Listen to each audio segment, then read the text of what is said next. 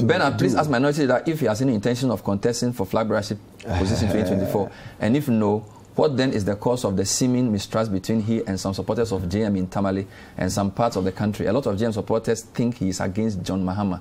This is from Seidu.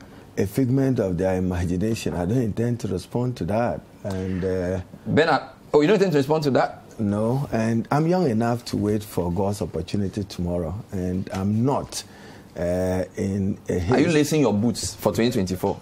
Absolutely not. You're not lacing. What, let me see the shoe I've been wearing. Whether they're even boots. Yeah, no, no it's, it's, okay. It's not Kambu. uh, what do you What do you think of Duffuor?